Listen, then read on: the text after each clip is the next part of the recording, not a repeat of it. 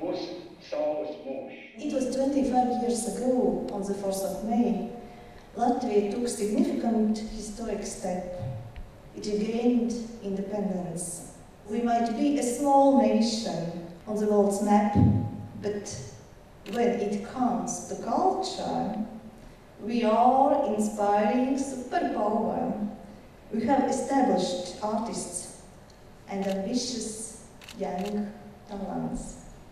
It is quite fitting to say that we regained our independence with the help of song through the singing revolution. Therefore, the concert here at the headquarters of European Union is the best way to celebrate Latvia's anniversary.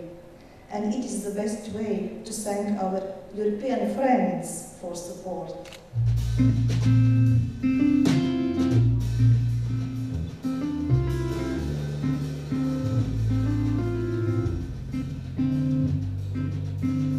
I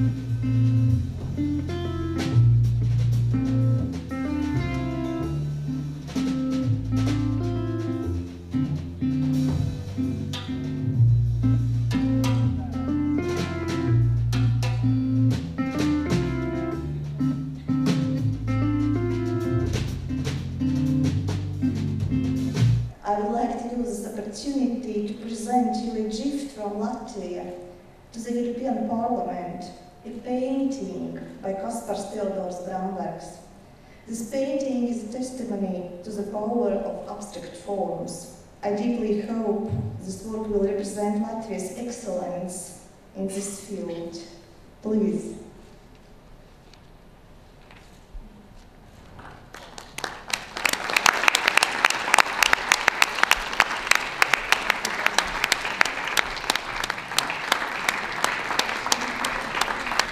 Runa ir par vienkāršību. Un tas nemaz nav tik vienkārši.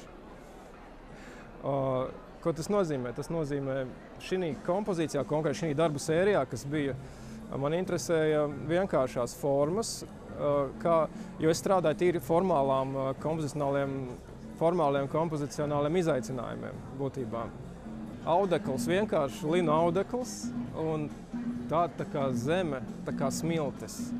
Mm, Tā kā tas darbs būtībā viņš arī runā par to mūsu, kā to manu personīgo latviešu krāsu kodu, ja tā var teikt. Un, uh, būtībā tas ir materiāls diezgan daudzslāņains. Mēs viņu varam arī, arī tādā veidā pasniegt un nekļūdīsimies.